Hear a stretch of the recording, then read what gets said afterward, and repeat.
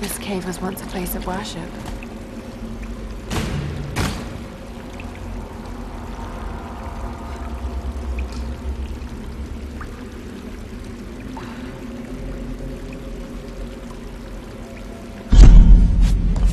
If I'm going to get to the ritual tree monastery, we need to fix that boat.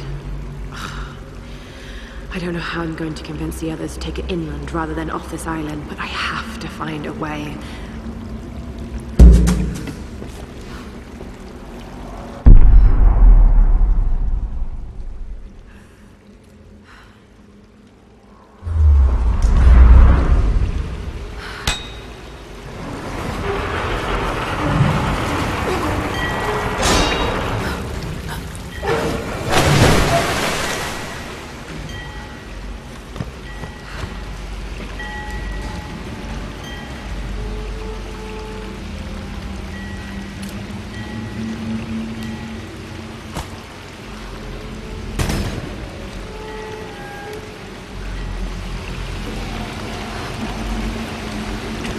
What are they doing here?